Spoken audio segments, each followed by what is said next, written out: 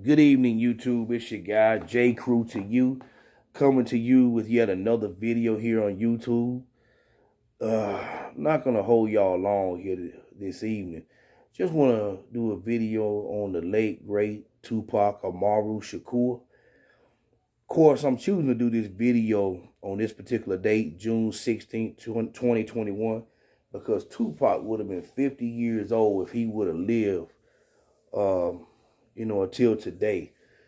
But of course, he was unfortunately lost on September 13, 1996, if my memory serves me correctly, to an unfortunate shooting out in Las Vegas, Nevada. Um, I, now that I have a YouTube channel, this is something I've always wanted to do. I've always wanted to do a video that was dedicated to Tupac. Obviously, for anybody who's ever been exposed to Tupac at some point in life, you, you you're going to hear about a lot of different things with Pac. You're gonna hear about the great music, uh, you know, the the great acting talent, but you're also gonna hear probably some of the negatives about his life. Uh, obviously, with the unfortunate uh, uh, uh passing uh, that that happened to him back in Las Vegas, Nevada, that I just mentioned, and also his many run-ins with the law. But I want to choose to focus on some of the positive things because in the 25 years this man lived, he was able to do some pretty incredible stuff. Um, first of all, when I think about my life,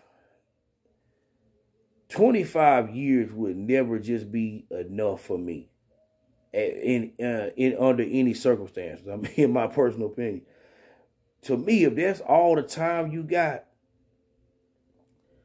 you it, you wouldn't have enough to grow as an individual and become who you are meant to become in life. I mean, there's a lot that can happen in 25 years, but to me, yet there's still not enough.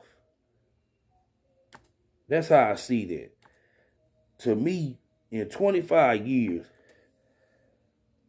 there'll be enough time for you to do some things, but uh, but obviously not a lot of things a lot of us might, wow, we may, of course, you know, go to grade school, graduate, maybe go to college start working a, you know, a full time job and probably have some kids and maybe get married.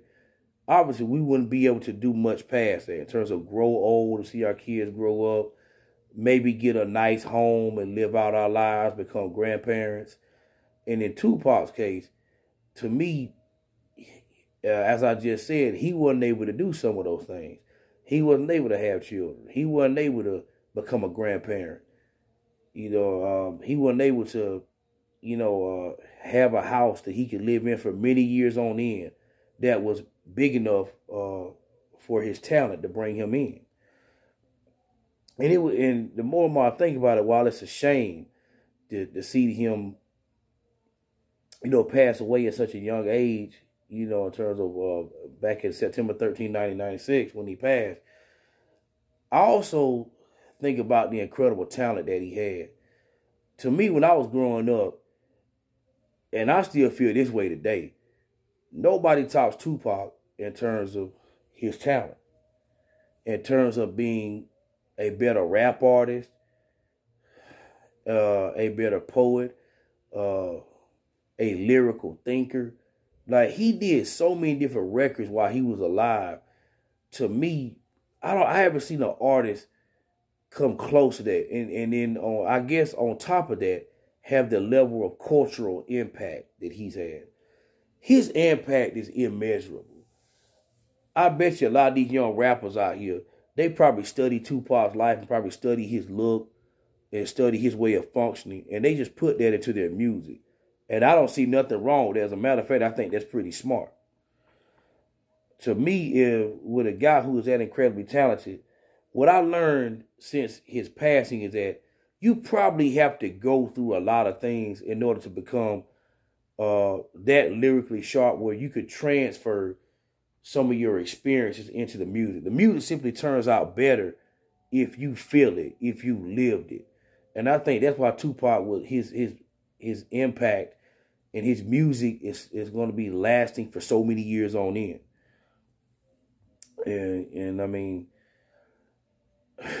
with the songs he had, I mean, we all probably have our favorite song, but then again, when you look at a lot of his catalog, depending upon what mood you're in, you might like another song as one of your favorite songs, or uh, you know, or one day, and then on another day, you'll say, okay, oh, this is my favorite song, Tupac. You can literally go from song to song, album to album with him and and following his catalog and say, hey man, this is my favorite song. This is my favorite record.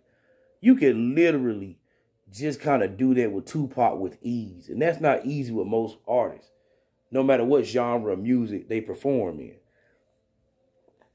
You know, if you first remember, I think the first time I ever remember being exposed to Tupac is with, of course, the group Digital Underground back in the early 90s when they came out with that that music video and that record called Same Old Song and Tupac rapped a little bit of a verse. Like it was it, like it was okay. It wasn't the greatest thing you've ever heard, but yet, you know, it was kind of sing song and it was catchy. And uh, as Tupac moved along in life, he began to, you know, sort of metamorphosize with his music. His music became more street after that point. And it was reflective, I think, of both of his, his experiences and what he wanted to represent. You know, you talking about a brother who, who was shot, beat up, been to jail off of a fake rape charge, in my opinion, and it showed in his music.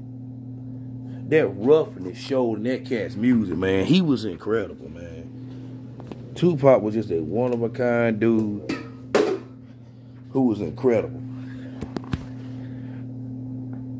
and it, it just translated into great music. While his experiences were unfortunate for the listener, it created classic tracks that we'll be able to listen to forever. I mean, when I think about his career, most of these rappers, like if they were had having to go from one label to another, uh, and one group or clique or whatever you want to call it, like Tupac did, it, their music would not carry over like his did. To me, with Pac, he was one of those guys that could just make you make good music no matter where he was. When when he was primarily based on the East Coast, doing music, I guess with uh what's that dude named Big Stretch and the Live Squad, you know, uh, back on the East Coast when he when he was coming out. Then he kind of moved out west to the Bay Area and then L.A. at times doing you know Thug Life and then with Death Row. His music just stayed just just cracking, for lack of a better term. He he just knew how to make great music. And that's something to me that's extremely difficult to do. But he made that look easy. And, you know, that's gonna last forever with his impact. And, you know, that that's what sticks with me. When I was young, you know, even though I really wasn't like a street cat like that, I love what this brother had to say. It was that moving to me from an artistic standpoint. You know, it, it was just that incredible. You know, even though I didn't really know the streets like that, it was that incredible. And um, you know, even today, you know, when I listen to some of those Tupac tracks, I still feel like a certain level of enjoyment, anger, angst when I hear him rap, when I hear when I hear him just rhyme so effortlessly, no matter what kind of album I'm listening to with him, the way he made you feel is what made you connect with him artistically. And that's what made this brother so great. But like I said, I mean, when I look at his body of work, not just with, you know, uh, the music, but of course he he was a movie star. You know, I, I, or at least in the hood movies or hood oriented movies. you know what I'm saying? We we still looked at Tupac like that. You know, he was in you know Juice, Poetic Justice, uh, uh,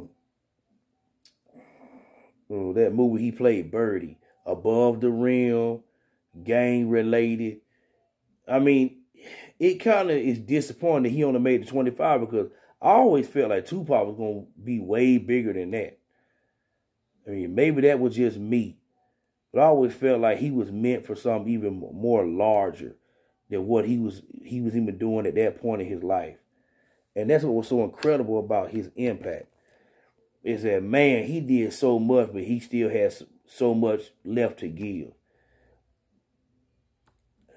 Yeah, but you know, he he only lived 25 years, but man, that dude made it count.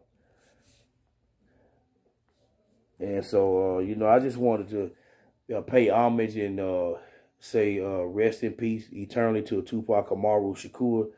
Uh, you would never be forgotten. Uh, happy posthumous 50th birthday. Rest easy, bro. You made an impact on the world. Y'all have a good one.